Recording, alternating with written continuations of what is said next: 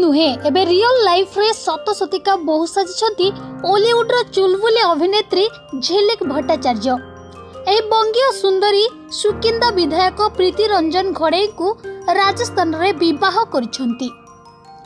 ବୈଦିକ ରୀତିରେ ରାଜସ୍ଥାନର ଏକ ହୋଟେଲରେ ସେମାନଙ୍କର ବିବାହ ସମ୍ପନ୍ନ ହୋଇଛି। କେବଳ ପରିବାର ବର୍ଗ ଓ ଆତ୍ମୀୟ ସ୍ୱଜନଙ୍କ ଉପସ୍ଥିତିରେ ଏହି ବାହାଘର ସମ୍ପନ୍ନ ହୋଇଥିବା ଜଣାପଡ଼ିଛି।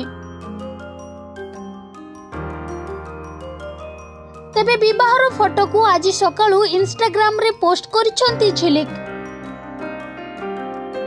ସୁଖୀ ଦାମ୍ପତ୍ୟ ଜୀବନ ପାଇଁ ସମସ୍ତଙ୍କର ଆଶୀର୍ବାଦ ମଧ୍ୟ ଲୋଡ଼ିଛନ୍ତି।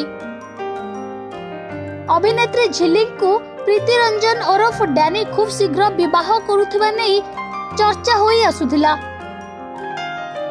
ବରିଷ୍ଠ ନେତା ପ୍ରଫୁଲ୍ଲ ଚନ୍ଦ୍ର ଘଡ଼େଇଙ୍କ ପୁଅ ତଥା ସୁକିନ୍ଦା ବିଧାୟକ ପ୍ରୀତିରଞ୍ଜନ ଘଡ଼େଇଙ୍କ ସହ ଅଭିନେତ୍ରୀ ଝିଲିକ ଭଟ୍ଟାଚାର୍ଯ୍ୟଙ୍କ ନିର୍ବନ୍ଧ ଫଟୋ ମଧ୍ୟ ସୋସିଆଲ ମିଡିଆରେ ଭାଇରାଲ ହୋଇଥିଲା। କିଛି ଦିନ ତଳେ ରାଜଧାନୀର କୌଣସି ଏକ ସ୍ଥାନରେ ସେମାନଙ୍କର ନିର୍ବନ୍ଧ ହୋଇଥିବା ଚର୍ଚ୍ଚା ଜୋର ଧରିଥିଲା। ବିବାହ ଉତ୍ସବକୁ ଗୋପନ ରଖାଯାଇଥିଲେ ମଧ୍ୟ ଏହାର ଫଟୋ ସୋସିଆଲ ମିଡିଆରେ ଆଜି ଭାଇରାଲ ହେବା ପରେ ସତ ସତିକା ବାହାଘର ହୋଇଥିବା ସୂଚନା ମିଳିଛି। Bureau report Konark TV.